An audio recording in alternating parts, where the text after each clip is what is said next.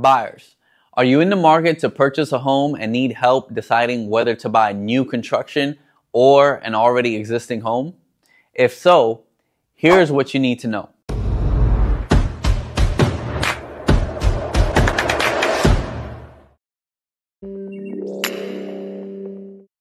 Hi, I'm Robert Kenneth Morillo with Aroa, Florida. As a buyer shopping in the latest housing market, you're probably navigating affordability challenges with the current rates and inventory.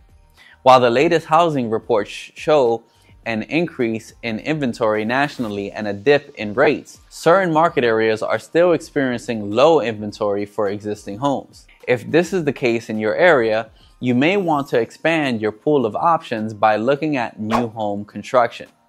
New home construction is an inventory bright spot in today's market. According to Danielle Hale, chief economist at Realtor.com, the shortage of existing homes for sale has opened the possibility of new home construction to more buyers who may not have once considered it. So, what are builders offering to buyers to incentivize them to purchase new? Many builders are now offering things like mortgage rate buydowns and other perks such as closing costs and upgrades. This can help offset affordability challenges and allow you to purchase your dream home. Builders have more wiggle room to negotiate these incentives than a resale homeowner does. Just remember, buying from a builder is different from buying from a homeowner. You still need an experienced agent on your side to advocate for you during the process. Your agent will be your resource for advice on upgrades, contracts, and help you get the best deal.